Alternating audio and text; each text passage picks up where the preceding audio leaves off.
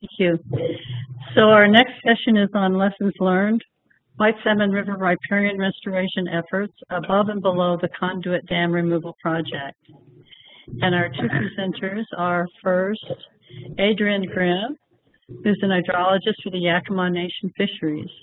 Adrianne is a is a hydrodrial, excuse me, hydro hydrologist and watershed restoration specialist for the Yakama Nation Fisheries in the Klickitat River Basin and the Southern Territories of Washington State. Adrianne focuses on developing, implementing, and monitoring habitat improvement projects, collecting field data, and developing spatial analysis in support of wild steelhead and salmonids in the Mid-Columbia region.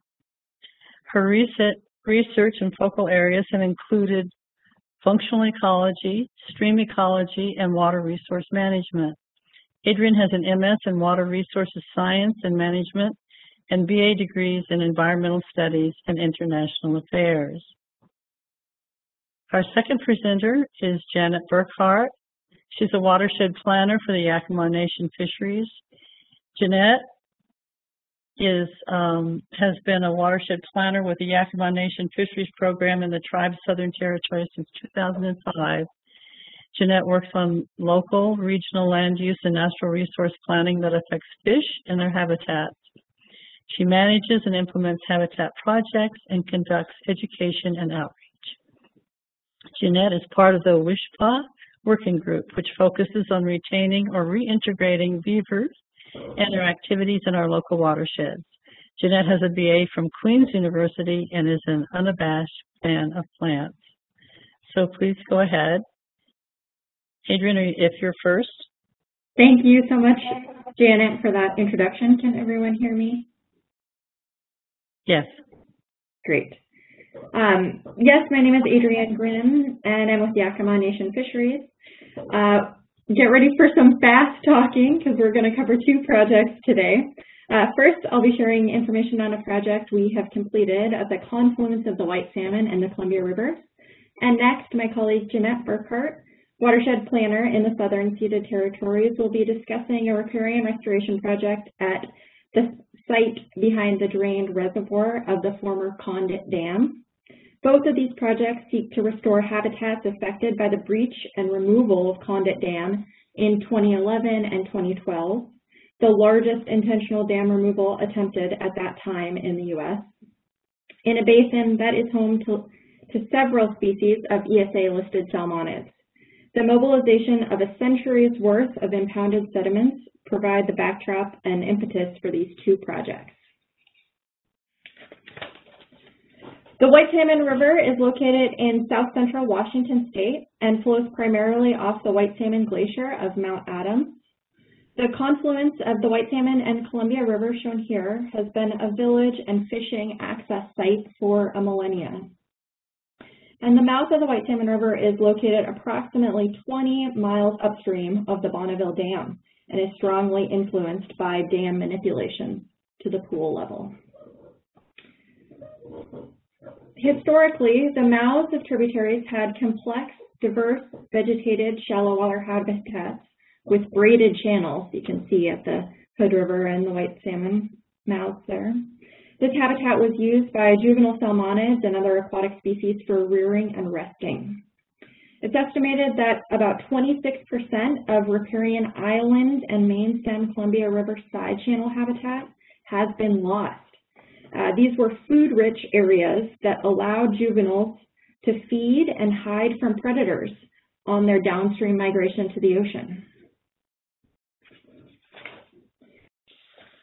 To talk about some historic conditions, the White Salmon River is named after its most abundant salmon run, the light flesh-colored Tule fall Chinook, an important fishery that was particularly known and used by tribal people in the late fall to harvest and dry the large-bodied fish for winter food stores. This site at Underwood has significance due to its continuous use for millennia as a, the Namnit village and fishing site. At the transitional zone between eastern and western ecotypes, The area around the confluence of the White Salmon River was likely a true convergence and confluence of cultures, languages, and ecosystems. The lower right photo shows the Bureau of Fisheries weirs that were erected to collect broodstock for the Spring Creek Fish Hatchery, built in 1901. Despite living adjacent to this area, Indians were prohibited from fishing near the weirs, uh, though the weir location was likely based on traditional Indian use prior to settlement. In lieu fishing sites, like including Underwood, and others along the Columbia were set aside, often hastily and without infrastructure, by Congress in 1945 as mitigation for inundated villages and other usual and accustomed fishing, hunting, and gathering areas under the Bonneville Pool.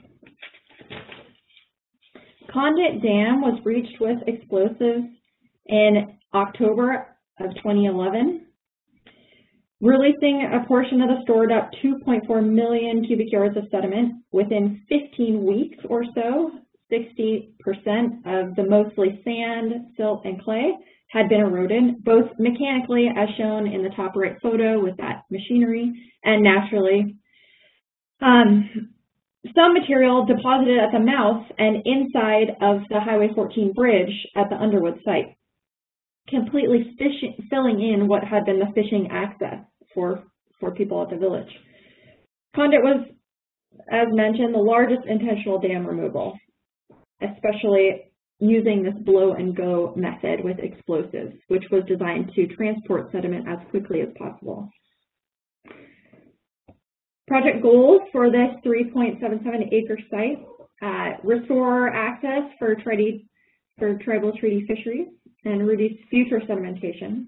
Inundation of this fishery site was an expected outcome with the Condit Dam removal. However, um, access needed to be reestablished for this important use.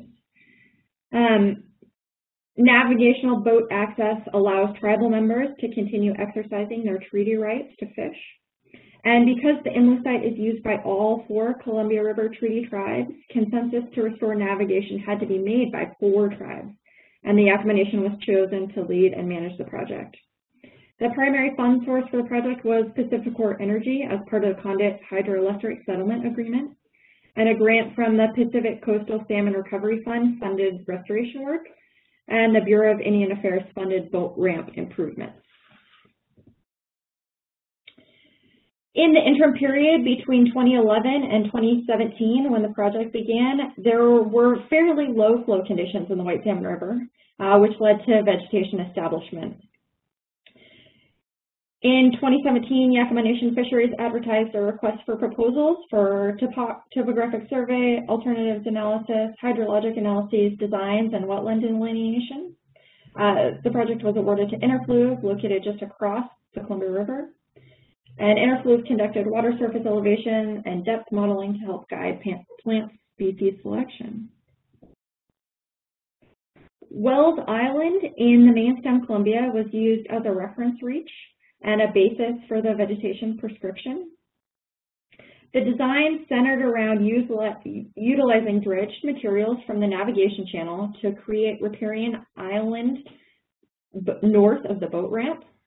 The constructed islands were designed to support diverse native riparian vegetation communities, spanning a range of inundation frequencies.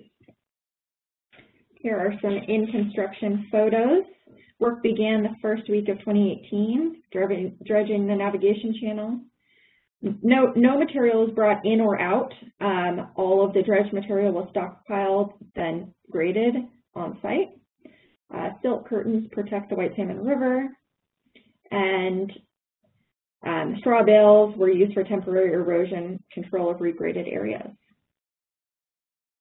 This is April 2018, nearing the end of the project. Uh, note water conditions are clear. Erosion control fabric and straw bales uh, serve as both an initial medium for planting live stakes as well as an erosion control feature since they're resistant to scouring in future high flow. Streambed cobbles function more like natural banks on the left there during pool elevation changes at the Bonneville Dam and provide juvenile habitat instead of riprap or other materials. increasing the quantity and quality of channel margin habitat for salmonids uh, for rearing and feeding uh, was a big priority for the project. Plant installation occurred in April of 2018, and seeding occurred the last week of April. There were two planting zones, a more upland zone that comprised the majority of the island area, zone three, and then narrow channel margins called zone two along the edges and in a wetland in, in the southwest corner of the project area. Plants selected for both zones would be tolerant of at least occasional wet feet, and the area was seeded with native wetland seed mix, spike rushes, rushes, sedges, as as soon as construction was complete. Planting methods covered the gamut and included containerized, bare root, live stakes, and, and seed. A PVC irrigation system was installed with a pump and an overhead sprinkler in April of 2018. Starting in early May, the area experienced exceptionally high flows, 140% of normal, uh, due to heavy snowpack in the Columbia River headwaters and very warm temperatures throughout the region, plus rain, um, resulted in extremely high runoff in this area. You can see the entire project site is inundated. And you, those, those slight lines are the irrigation system. The project area was inundated for, for the better part of five weeks. However, um, and presumably the seed mix that had been established washed away. We were very concerned about impacts to planted species. Um, however, as Reed mentioned, new seeds washed in during this timing. Uh, some plantings we know did not survive the prolonged inundation. So we were a little concerned. Observations after high water, we observed quite a bit of natural regeneration after the water dropped off. Some areas had plenty of growth, but some needed supplemental planting. We worked with Yakama Nation staff and local groups, including the Mount Adams Institute uh, crews, as well as Washington Youth Conservation Corps crews to replant the area uh, primarily using live stakes to replant in the fall and winter and subsequent spring, 2018 through 2019. Not only did the seed mix likely wash away, but a lot of unexpected seeds washed in, and we want, we're evaluating and monitoring the new growth. We observed plentiful western goldenrod, um, really blanketing the entire project area. We were concerned early on about how pervasive this goldenrod was, um, luckily, we determined it was a native and eventually provided some unexpected benefits. We removed the irrigation system in June of 2019. You can see here and in the previous picture. The irrigation did work over the first summer after inundation, but it started to break down due to logs rafting into the area during high water, and the PVC was exposed to sunlight, um, and one burst pipe or, or a couple burst pipes would mean that much of the connected system didn't function. Since the water table can be artificially high in the summer due to manipulations at the Bonneville Dam, summer mortality has not been a major concern, but removal was a very big job. A little bit of a monitoring overview for the project site here. Uh, to document plant growth and site coverage, we did both ground monitoring and aerial monitoring, and 10 photo monitoring sites were established in June of 2019. Photo monitoring points were mounted with T-posts to facilitate relocation and consistency with bright orange as, as vegetation grows up around the project site. Um, to capture inter and intra-annual changes in vegetation, photos are collected at least every season, primarily spring and fall. Yakama Nation staff um, include a FAA certified uh, pilot to conduct periodic aerial surveys with small unmanned aircraft, small UAVs.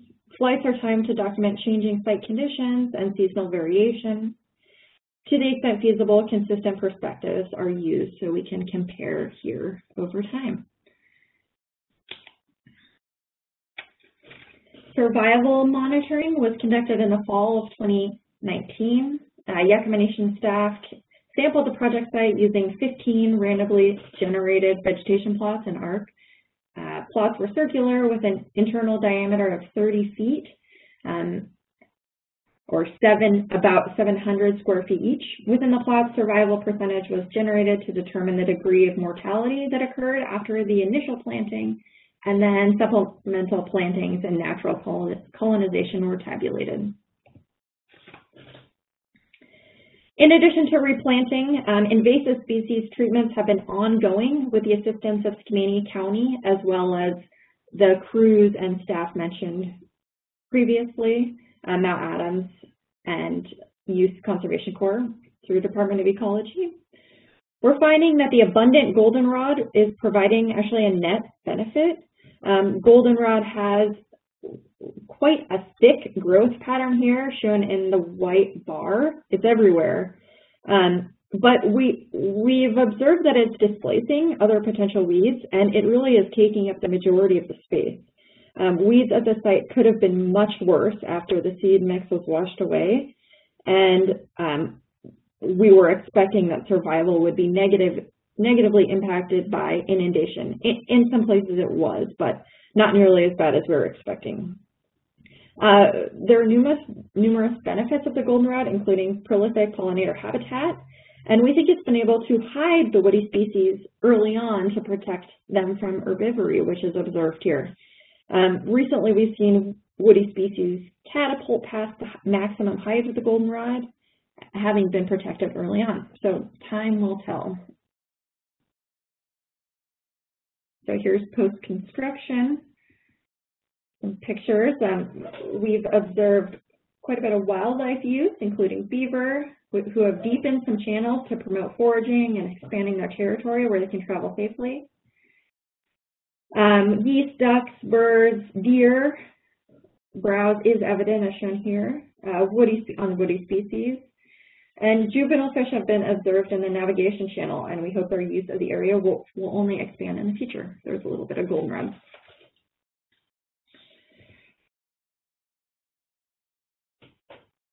some lesson learned, uh, even though this was a careful plan, well executed, things can go a, a little off kilter. Uh, inundation for five weeks hasn't happened in this area in recent memory. Um, and just after planting, we were very concerned. Um, a little bit of non-desirable plants got mixed in just just on accident, so that was a little bit of a bummer, but we've uh, remediated that. And then we were really concerned about what we were going to see after that inundation, but so far so good. And in general, this is a very visible project site, so consistent and repeated presentations to community and press releases were completed, and still we received a lot of questions and just know there was a lot of discussion in the community.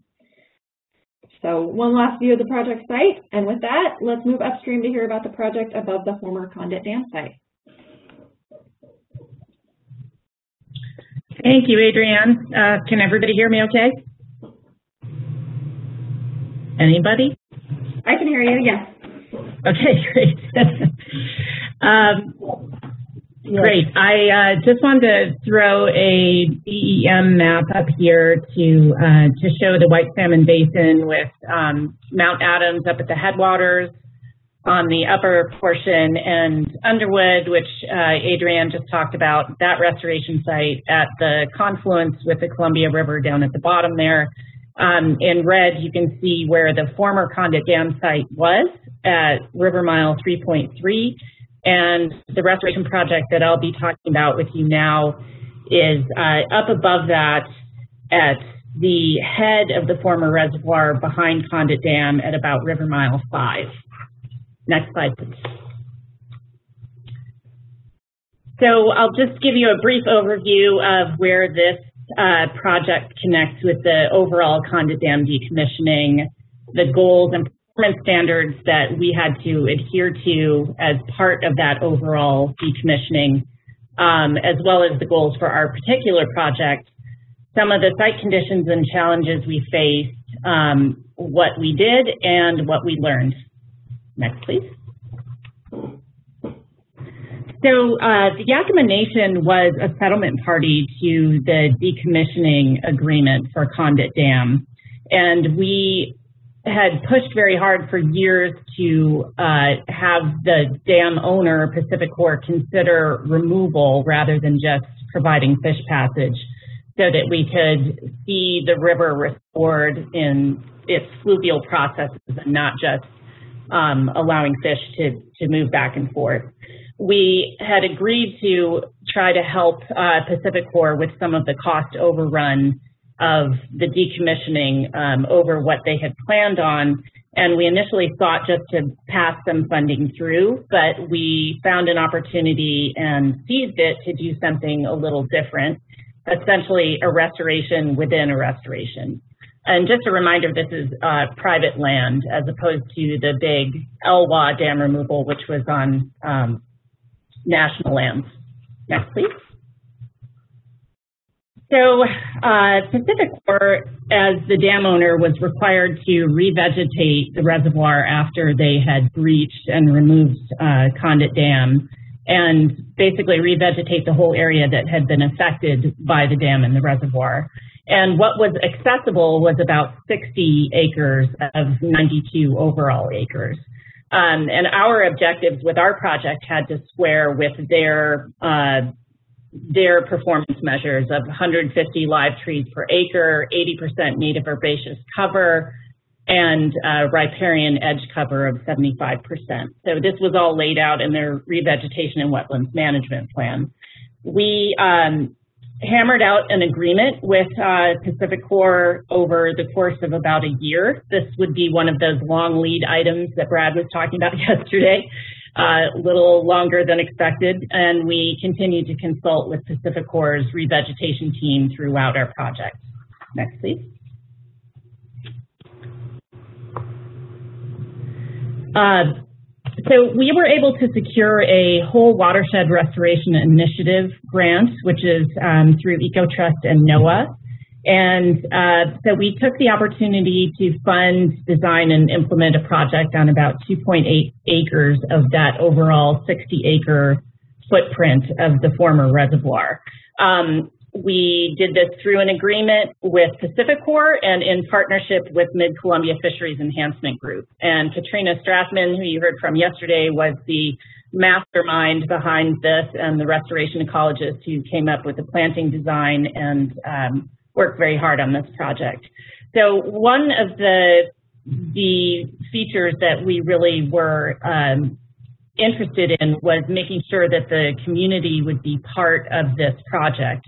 This dam removal was very divisive within the community for many years, and um, one of the key stakeholders, the, the community surrounding this area, felt um, a bit left out of the project um, of the overall dam decommissioning and planning. And so we felt that it was very important to promote ongoing stewardship, not just of the restoration project that we were working on, but of the overall um, decommissioning and, and subsequent restoration by involving the public. So the site that we chose was right adjacent to a public park and um, and a boat launch.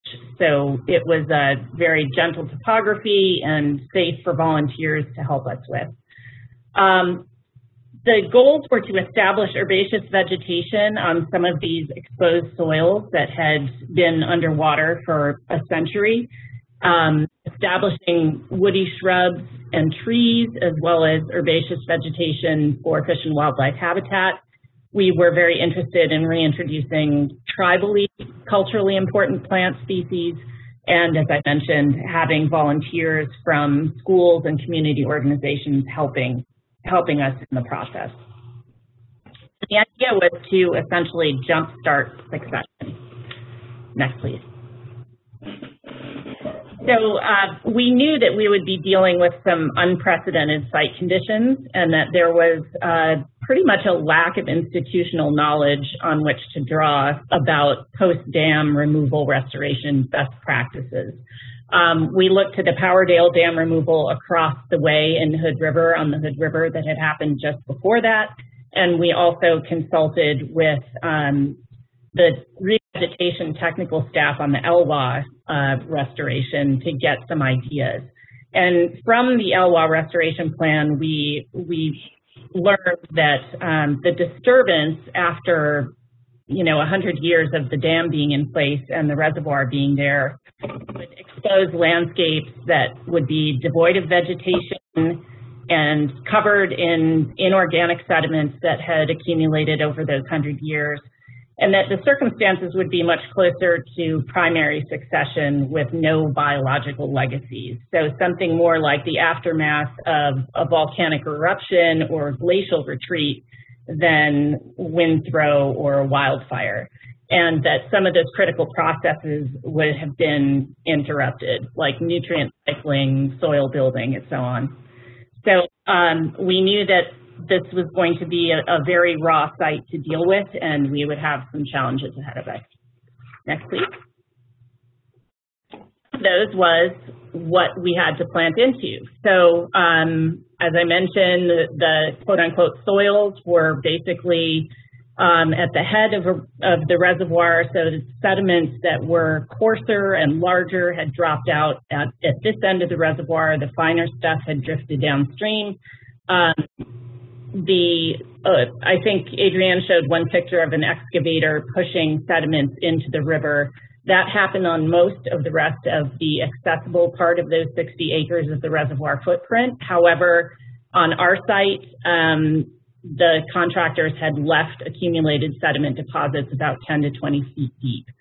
And uh, this was obviously uh, not an ideal situation and extremely hostile to getting plants to grow and we were actually able to um, go to some reference sites and make the case to the landowner to PacifiCorp that they really should try and remove the sediments on the site down to as close to the native soils as possible to give us the best um, best possible chance for, for attaining those performance measures.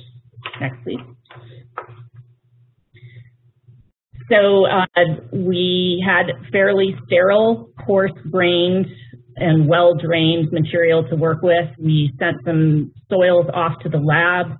Um, Katrina consulted with a number of soil and other restoration experts um, to see what we should do once we got the results back, uh, which showed that we had uh, very acidic soil, high in iron and sulfur, that was at the same time very low in microbial activity and organic matter. So very challenging to get plants started in that.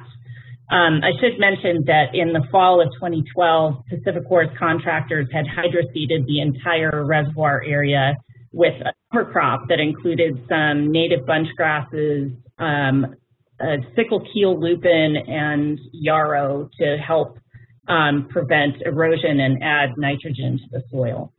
And that was sort of the, the substrate that we planted into. Next, please. So essentially, we took the opportunity to plant a little bit more diverse range of plants, but we had to essentially choose pioneer species, so hardy, hardy species that would be able to um, get a foothold in, in this harsh site. Um, we overplanted pretty heavily. As you can see, we planted 7,400 native plants, 34 species, and some of those were also forbs. Um, that was a pretty high density for a small site, but we had to account for the fact that we would not be able to irrigate and uh, that it, the site was very exposed and exposed to wind and uh, and the issues that we already mentioned about the soil. So we had to account for high mortality. We had, uh, we tried to also ensure that the uh, genetic material was adapted to the site as much as possible. So we collected and had grown out by native plant nurseries a lot of um, local seed propagules and cuttings from around the local site. That also meant that we worked with, uh, I believe it was six different nurseries, so it was a lot of managing plant materials. Next, please. The site is divided up into different planting zones based on the species ecological requirements, um, the access to the water table, and the proximity to both the existing vegetation edge and river. Um, there were also some forward plots included, um, and we decided to put in a footpath that would both allow the public to um, traverse the site to see it evolve over time, and it also provided an opportunity for us to avoid trampling, to be able to use that uh, footpath for um, arrows and that type of thing. Next, please. So essentially, we were not allowed to use gas-powered equipment on the site, so we used hand crews and hand-dug planting holes in fairly cobbly material. Here's a WCC crew that did the initial plantings. Um, we used wood chip mulch to hold moisture, suppress competition around the plants, and start adding some organics to that soil. Um, and we added uh, herbivory protection to most of the trees and shrubs. Next, please. We also had to amend the, the substrate that we were planting into, so we uh, had hand spread dolomite across the site to try and raise the pH.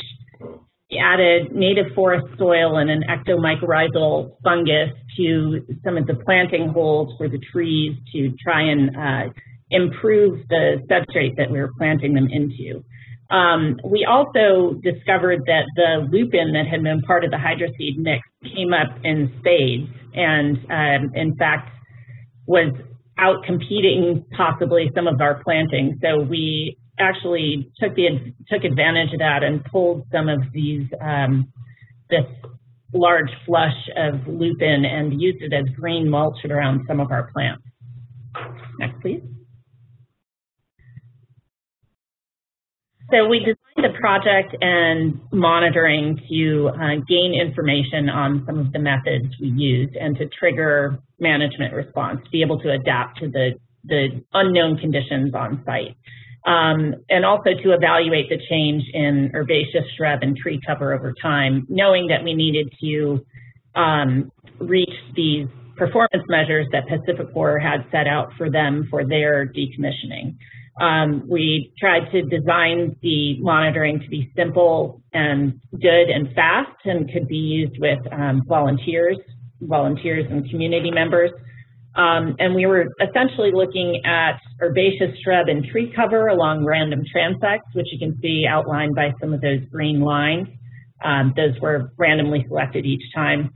Uh, the survival of species in survival plots, which you can see in those green polygons and uh, permanent photo monitoring points, which are those yellow dots around the side. We hope to, in the future, be able to do long-term monitoring with, um, with unmanned aerial vehicles if possible. Next, please. So some of the challenges I already mentioned about the site conditions, but also um, timing challenges working with so many different nurseries and getting bare root plants after um, the ground had already frozen. We also had issues with uh, the, the, soil um, becoming uh, saturated and then freezing. So we had tube protectors that blew down. We had plants that were frost heaved, some of which we tried to replant. Um, we definitely had herbivory on the site. We had some some interesting weed uh, issues pop up, like a pretty broad, widespread um, dubia infestation, which um, we're hoping that the other plants will outcompete over time, but that may have been a contaminant in the hydroseed mix. We're not sure.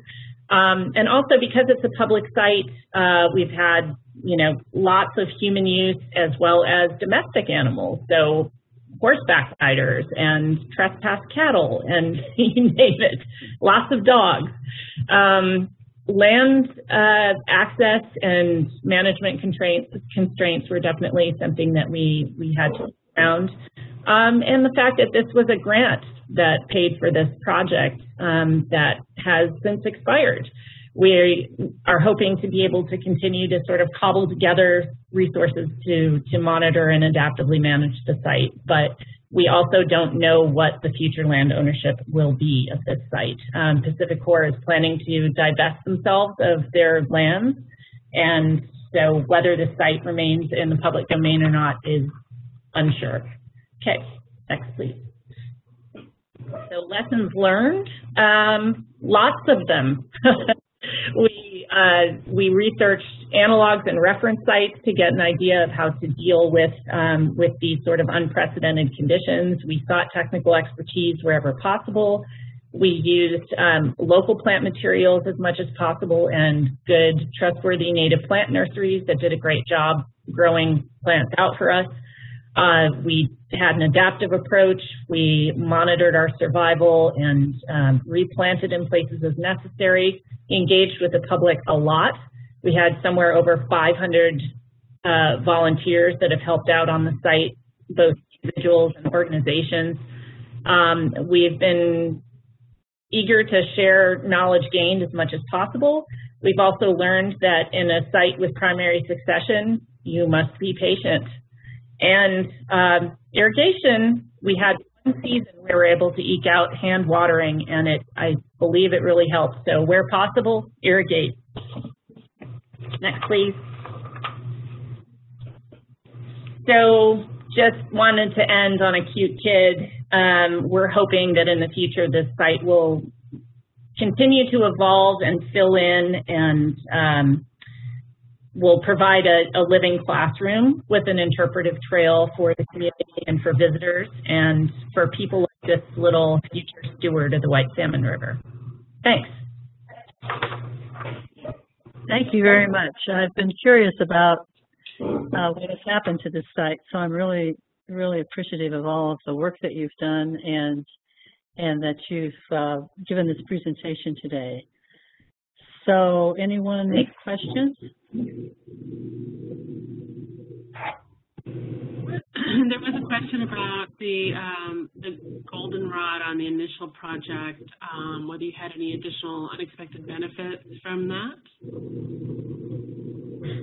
Well, we really think it outcompeted potential weeds that might have washed in and been able to take advantage. Um,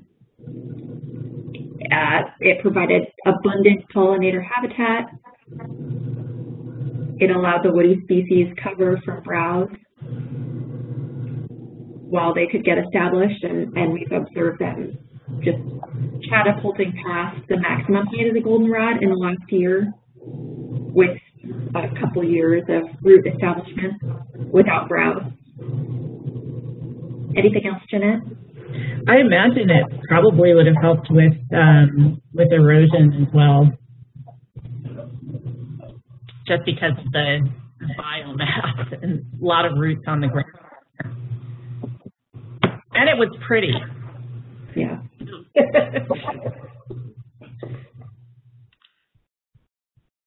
Um, were you able to irrigate via a water right, or was there any usable water source on either site, or did you have to take water in?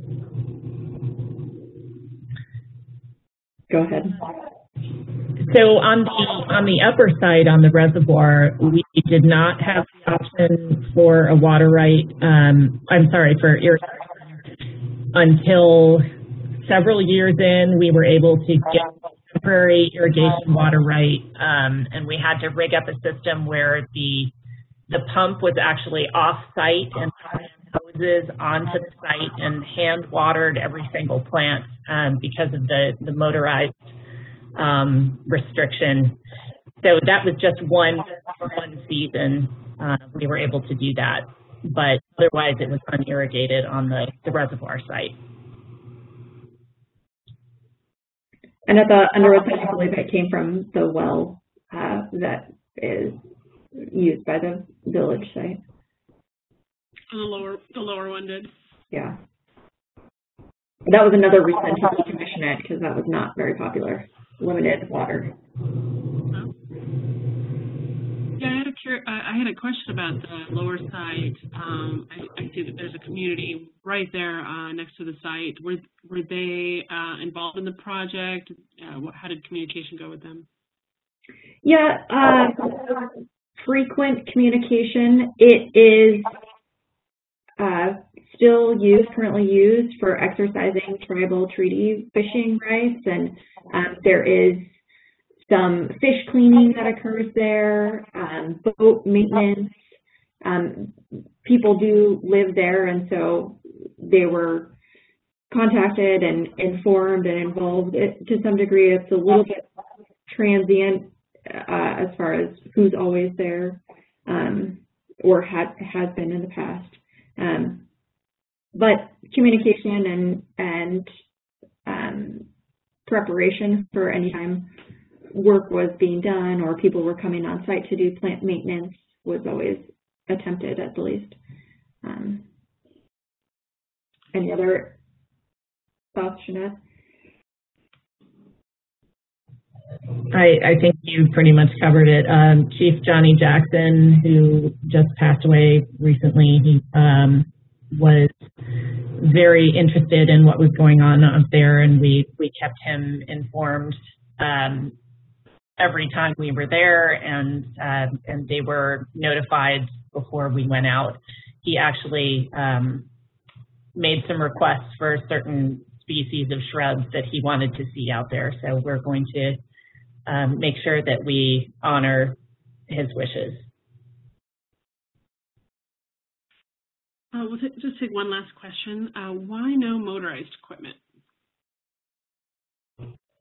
On the reservoir site, that was a that was a restriction um, that PacifiCorp had on their lands, and I believe uh, it had to do with their. Um, I'm not sure if it was a risk issue or if it was a uh, fear of contamination issue with um, with gas powered um, motors. I'm not exactly sure what it was. They had to uh, conform to FERC and Department of Ecology regulations, so it may have been something along those lines just to, to avoid uh, contamination. But they are also very, um, very concerned about risk, so we had to um, come up with a, a pretty elaborate volunteer um, agreement as well to allow us to have volunteers out on the site, and Mid-Columbia Fisheries was able to um, to kind of work that through their um, through their insurance coverage because that was that was also kind of complicated. So it was one of the one of the, the complicating factors, I would say, of, of working with a, a private landowner.